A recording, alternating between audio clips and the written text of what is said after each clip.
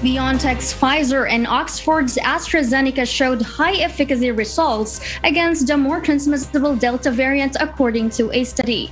RK Lorca will give us the details live. RK? Mariel, as the highly contagious COVID strain now dominating worldwide, health officials assured the public that Pfizer and AstraZeneca vaccines are highly effective against the Delta variant as how they are effective to the previous dominating Alpha variant.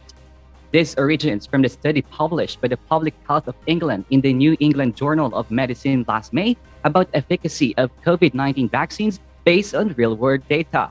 Yesterday, another study has been found that two doses of Pfizer shot was 88% effective at preventing symptomatic disease against Delta variant compared to the 93.7% of its effectiveness against the Alpha variant.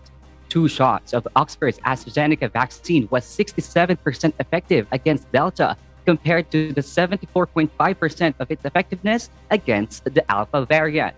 The Public Health England researchers added that there were only modest differences noted in the vaccine effectiveness of the two vaccines with the Delta variant as compared with the Alpha variant upon the receipt of two vaccine doses. However, the researchers of the food study published on Wednesday reiterated that one shot of each vaccine is not enough for high protection. Marielle?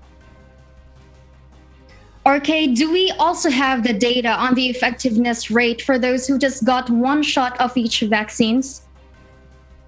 Yes, Marielle. The Public Health England had previously said that a first dose of either vaccine was just around 33% effective against symptomatic disease from the Delta variant.